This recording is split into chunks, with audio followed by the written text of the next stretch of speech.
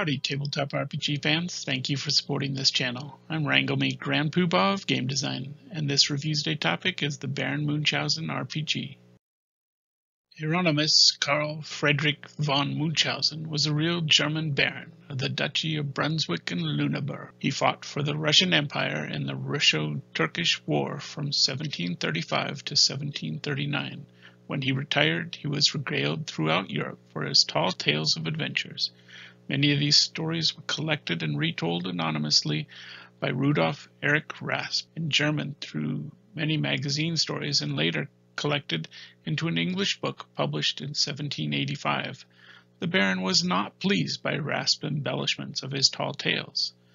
I grew up in an age of authors, cartoons, and television writers telling their own tall tales. My inspirations were the exploits of Paul Bunyan, Pecos Bill, John Henry, the cartoon embellishments of Commander McBragg, real life shenanigans of Teddy Roosevelt and the authors like Mark Twain. It was only natural that I fall in love with the amazing stories of the Baron and his troop of misfits. Stories of the Baron have inspired films such as Georges Méliès, a German production filmed in World War II, and the rather famous version by Terry Gilliam with John Neville, Eric Idle, Robin Williams, Uma Thurman, and many more celebrities.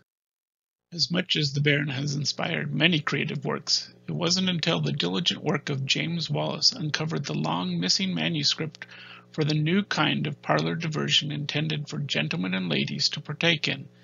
As the story goes, it was delivered to John Wallace, his ancestor, in 1798 as a new style of role-playing game. James published the original role-playing game from the Baron's designs some 200 years later in 1998. The Extraordinary Adventures of Baron Munchausen in the first edition was a splat book format with all of 24 pages. The game involved dissembling cooperatively or competitively in a small group with plenty of liquor, the idea being to convey your version of an outlandish story without a break, unless it is to drink deeply from your beverage. When you can no longer maintain such a pace, it is the next participant's opportunity to turn the tales to their own ends. The rules are encapsulated on the last page. Create your noble name card, regale your story, interrupt, wager, duel, and reward coins for superb storytelling or outlandishness. I've never had cause to believe that James was prone to embellishment, so I'll take him at his word as a gentleman about the veracity of the other editions. It would seem that the Baron was corresponding with John and Edward post the original manuscript, hoping to see proceeds from the rules being published. All of this content has created three editions of the RPG for fans of the game to enjoy. The second edition, as published in 2008, claims to use the third edition of the Difference engine with greatly expanded content. The expanded content includes two expansions or minigames, the Baron's late adventures in Arabia, including encounters with such sailors known as Sinbad, and My Uncle the Baron, a somewhat simplified game intended for families.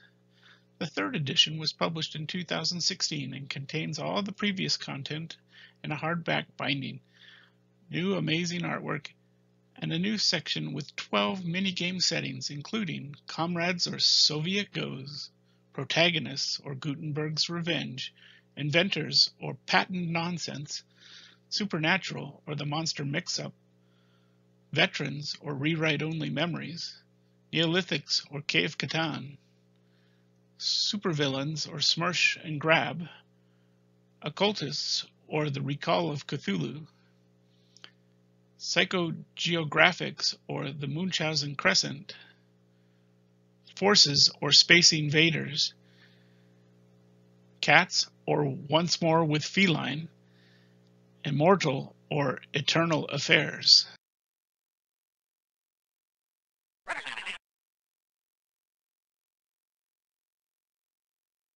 In 2017, at a DunDraCon game convention, I gave two presentations about improv for gamers and how to use improvisation techniques to improve being a game master or player. One of the many improvisation activities was called That Time I Met Baron Munchausen.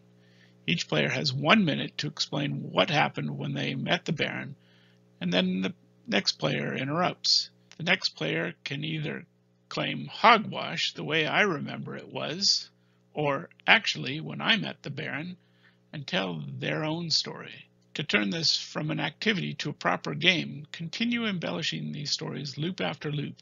A player who has stumbled out can be rescued by another player mentioning them before their next turn. This episode is brought to you by Kaboomkin, the smaller, faster, funnier RPG of cartoon fairy tale post-apocalypse mayhem. It's time to blow stuff up. Get it now at www.kaboomkin.com. Thank you all for watching this episode. Hit like, subscribe, or ring the bell, or Booger will get you. If you want to see more videos like this, go to hoppsbusch.com and buy an RPG or t-shirt.